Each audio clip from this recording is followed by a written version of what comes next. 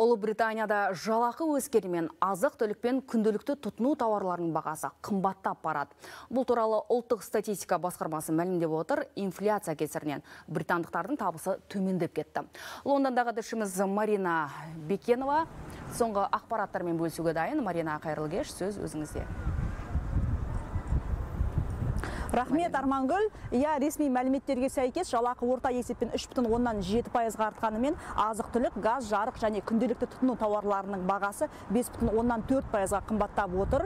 Англия банкі инфляция деңгейі алдағы уақытта 7 пайыздан асатындығын айтады. Осыны ескерген компания басшылары жұмыс күшінің жетіспеушілігіне тап болмау үшін қызметкерлерінің жалақысын өсіруге, тіпті қосымша бонус төлеуге мәжбүр. Қаржыгерлер бұл тенденцияға қарсылық білдірді.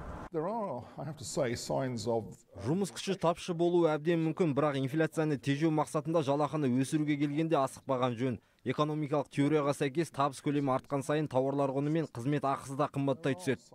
Премьер-министр Борис Джонсон және кәсіподақ ұйымдары Англия банкі басшылығының бұл пікірін қатаң сынға алды. Бірақ елдің қаржылық дағдарысқа тап болғаны рас. Ұлыбританиядағы инфляция деңгейі әлемнің көптеген елдеріндегідей шарықтап барады. Мәселен, қаңтар айында 30 жылдық максимумға жетіп, 5,5 пайызға дейін артты.